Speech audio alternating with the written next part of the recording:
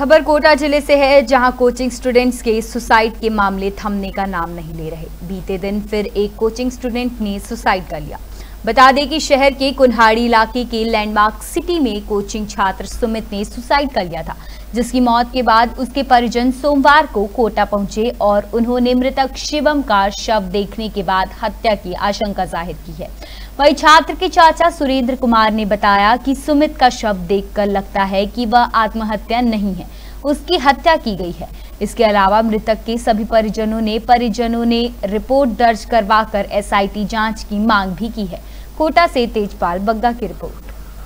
ये जो हादसा हुआ है, इसकी बॉडी को देख के हमें ऐसा नहीं लग रहा कि इसने सुसाइड किया है, क्योंकि इसके हाथ जो है बाजू तक के लाल हैं और पैर तो चलो हो जाते हैं डेड होने के बाद।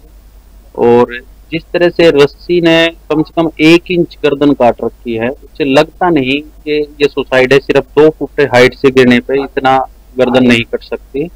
तो हम चाहते हैं प्रशासन से कि एसआईटी गठित करें, जाए इसके लिए और बोर्ड से पोस्टमार्टम हो। कोई परेशानी नहीं थी। उसको चार पाँच दिन पहले बात की थी, बिल्कुल खुश था। कोई प्रेशर नहीं था। हर बार मैं उसको यही कहता था, भाई, कोई टेंशन नहीं था। नहीं, नंबर आए, जितने आए, आ लेकिन कोई टेंशन नहीं। हर बार यही बात कुमार पाँच साल रोहतक से बोल आपसे अर्ज़ कर रहा हूँ, मेरी, उनके स्टाफ से बात हुई, सुबह भी बात हुई ठीक ठाक था, दोपहर को बात हुई ठीक ठाक था।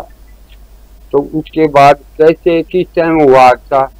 ना तो उस टाइम पे ये टाइम सेट किया गया इनके नौ बजे का बता रहे हैं अखबार में।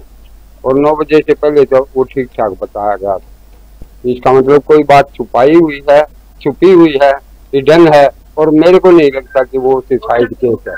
जैसे मुझे तो सूचना नौ पैंतीस पे मिली कि एक बच्चे इस तरह से पंखे पे फांसी लगाकर सुसाइड कर लिया है, वो कोचिंग एरिया। में तुरंत पुलिस मौके पर गई, बच्चे को उतार के मोर्चरी में शिफ्ट कराया, परिजनों को खबर करी। अभी सुबह परिजन भी सारे आ चुके हैं, मेडिकल बोर्ड से पोस्टमार्टम करवा रहे हैं। तो सुमित पांचाल नाम का बालक है, रोहतक, हरियाणा का रहने वाला है। यहाँ पर रहकर नीट की तैयारी कर रहा था। पाँच मई को इसका नीट का एग्ज़ाम था और ये ड्रॉपर बच्चा था। पिछले साल भी इसने नीट दिया था, पर पिछली बार बिना कोचिंग के दिया था। इस बार पहली बार ये कोचिंग कर रहा था। साल भर से कोटा रह रहा था।